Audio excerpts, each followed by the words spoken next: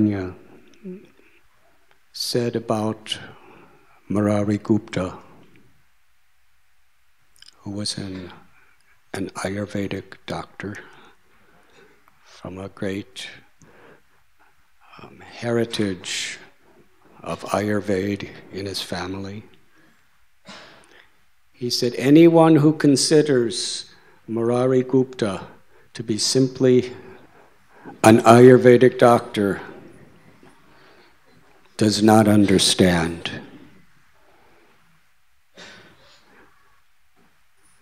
Because Murari Gupta, whoever he treats, he treats their body, their mind, and he liberates their soul.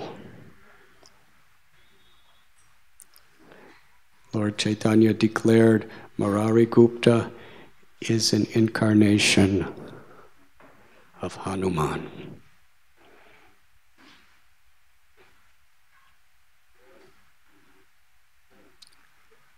Hanuman, when Lakshman was seriously ill in the battle of Sri Lanka, his enthusiasm. He jumped to the Himalayas. He searched for the particular herb that was required. When, he, when it was taking too much time, he lifted the entire mountain and jumped back. That was his determination, that was his enthusiasm, his surrender, and his devotion.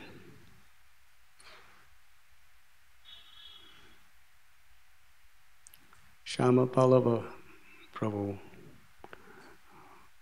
was truly from the core of his heart, he was a Vaishnav, he was a devotee, like Murari Gupta he understood that however much benefits he can do for someone's body and mind, death is inevitable. Sometimes, even in the most unexpected ways.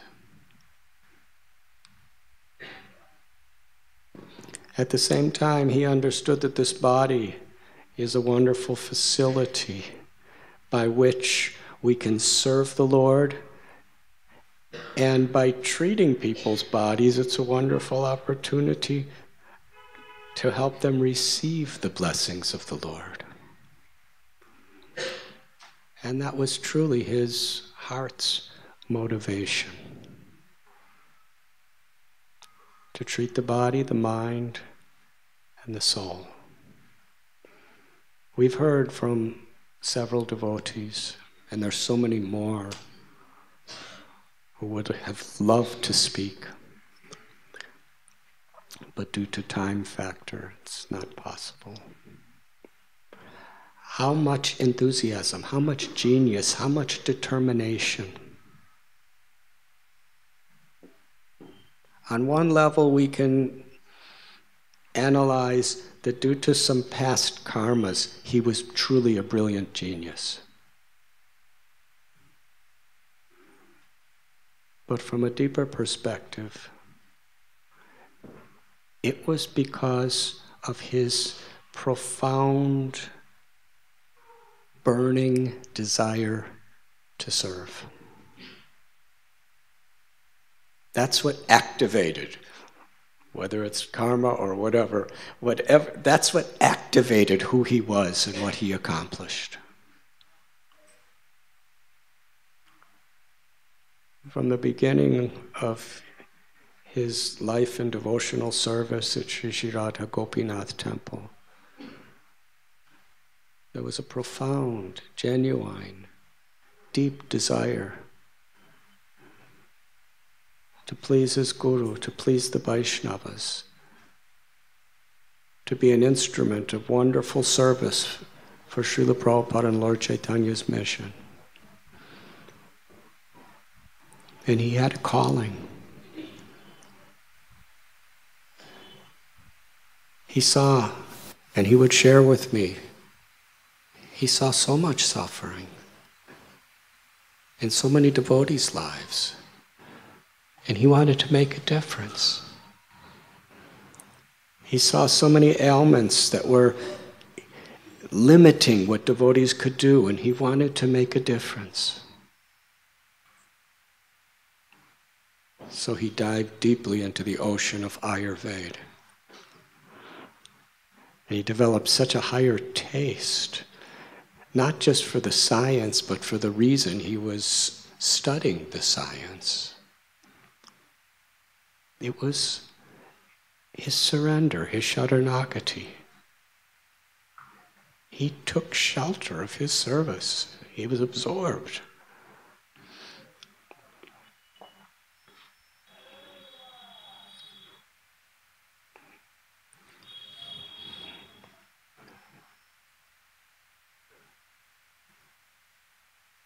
Because devotion infused everything he did. And his Vaishnav character and qualities were so much foundational to how he did whatever he did. People had trust in him. And that's an important part of treating people because they're not going to follow you unless they have trust in you. Because Ayurveda is not just giving a shot and then telling the next person in line to come up, it means following. Wherever I went in the world, I would find people who had so much trust in his, the integrity of his desire to serve them. And they're, therefore, they fully opened their hearts and were willing to follow what he was teaching. And so many were cured. But they weren't just cured, they had such appreciation for the qualities of a Vaishnava, qualities of a Vaishnava. And for people who were devotees, they showered blessings upon him. And for people who were not devotees, their appreciation for the qualities of a Vaishnav opened their hearts to receive Krishna. Srila Prabhupada explained the beginning of true devotional service is appreciation of a Vaishnav. So his Krishna bhakti was infused in all of his brilliance, in all of his determination, enthusiasm, in his life. He cared. There was nothing superficial, artificial, or shallow about Shyama Vallabha put his heart into it because he cared. It was a service to God and he cared.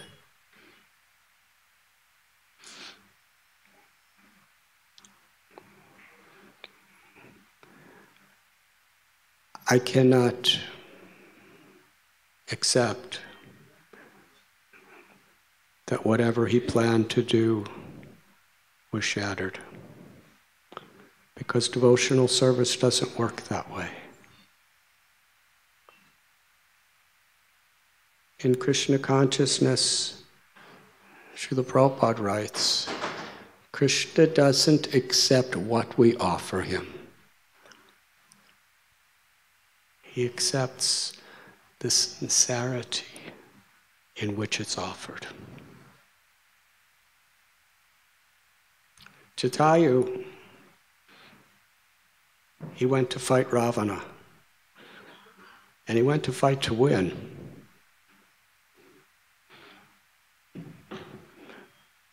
Somehow or other, Ravana cut him down. And Sita was taken away.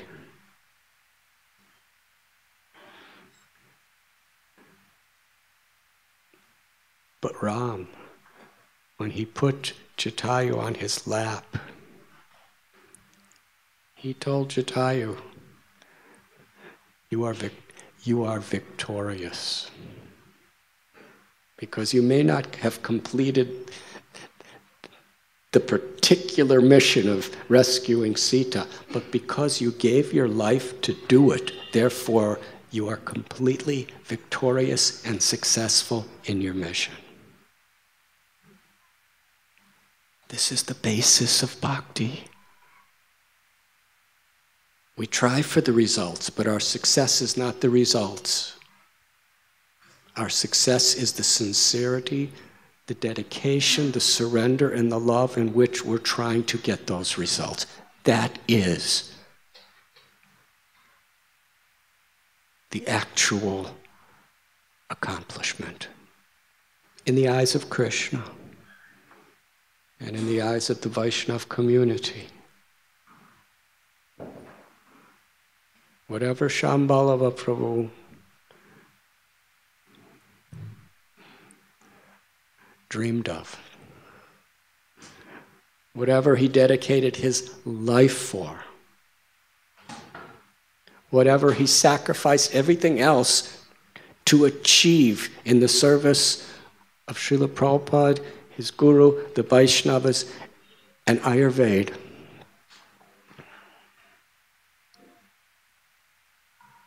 It's a complete fulfillment. It's accomplished.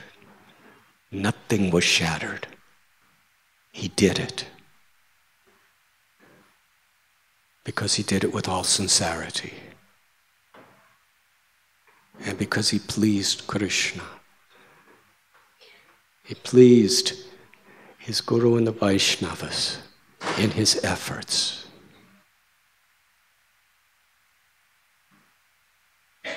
from our perspective in this world, what happened and what will happen. We live with trust. What's lost is not what, he, what it's not what he gave his life to try to accomplish. Krishna will compensate. Krishna will not allow a devotee who has sacrificed everything to do something so wonderful in the service of the Vaishnava and humanity to have that go in vain. Ramchandra, if for nothing else, he was going to get Sita back for the glory of Jatayu.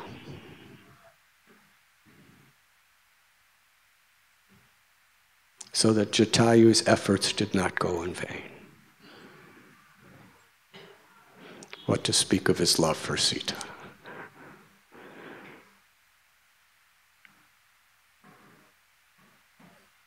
Krishna has his plan. And Krishna's plan for his sincere, dedicated devotees is always perfect. We may not understand we cannot understand. Perhaps sometimes we're not even supposed to understand logically why something happens.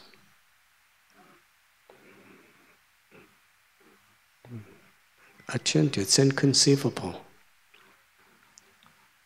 But where logic has its limitations, faith can take us beyond into the realm of truth, into the realm of love. We have faith in Krishna's words and in the words of the, the scriptures and the acharyas. That for a devotee, however things may appear to our mind and senses, we should know one thing. For a sincere devotee who dedicates their lives, even if their mind may be a little racing here and there, if their hearts are in the right place, in their spirit of surrender, Krishna will do what is perfect for that devotee.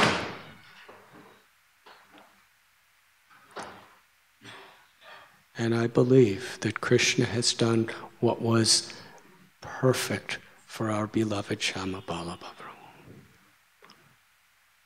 perfect for his spiritual progress and also perfect. How inconceivable it may be for us now, for the mission he gave his life to.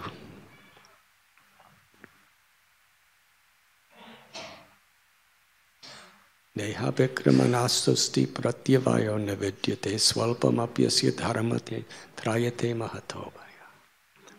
In devotional service, Krishna tells nothing is ever lost. And that's on many levels. It's not just on the level of our own personal spiritual progress. That's for sure.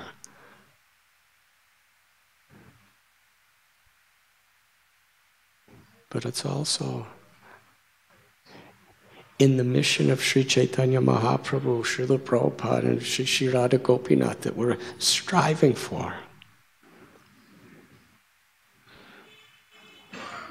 What is lost? His eternal soul is with Krishna. According to Krishna's will, Krishna has taken him where Krishna wants him perfectly out of Krishna's supreme, all encompassing, perfect love. That's where his soul is. We can celebrate his good fortune. We could celebrate his life. But what is lost is our association in this material world from such a wonderful person.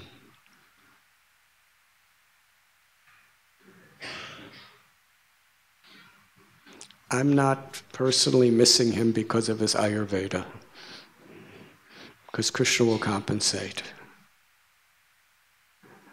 I'm missing him because of the love, the devotion, the surrender, and the sweet character in which he did his Ayurveda, and in which he chanted the holy names, and in which he was determined to serve in everything and every, every way that we heard of today. That body that he was residing in was a medium by which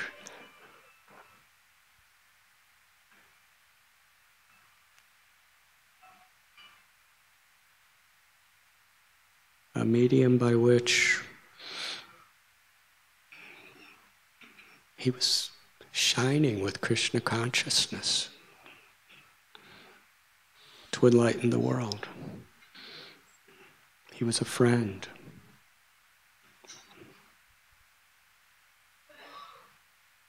For me, he was a dearest friend, a dearest son, a dearest inspiration, a dearest doctor.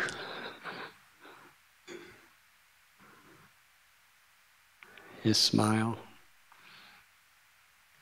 his sincerity, as Govinda Prabhu said, his madness, which was an expression of his enthusiasm and his brilliance to serve his soft, tender, compassionate heart that was filled with Krishna. We have lost that association. And our hearts cry.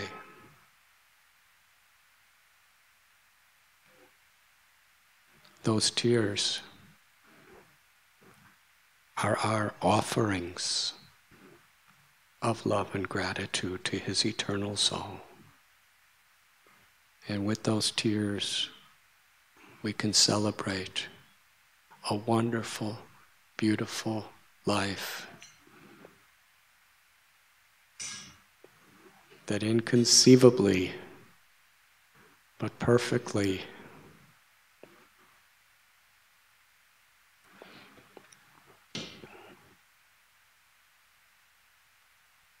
departed in the way it did from our vision.